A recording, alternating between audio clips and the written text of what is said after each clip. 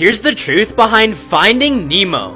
So we all remember this scene in Finding Nemo, where a barracuda attacks Nemo's parents, killing his mom and every one of the eggs except for Nemo. But there's one problem with this. Barracudas don't eat clownfish. And it just so happens that clownfish are cannibals that eat their own eggs. Now what you need to know is that female clownfish are much bigger and stronger than male clownfish. What if I told you that Barracuda never killed Nemo's mom? And that Nemo's mom mass murdered all the eggs while Marlin couldn't stop her. When this happened, Marlin was devastated and refused to believe it. So he imagined himself saving one egg which he named Nemo. A name that literally means no one in Latin. Nemo never existed, he was finding no one.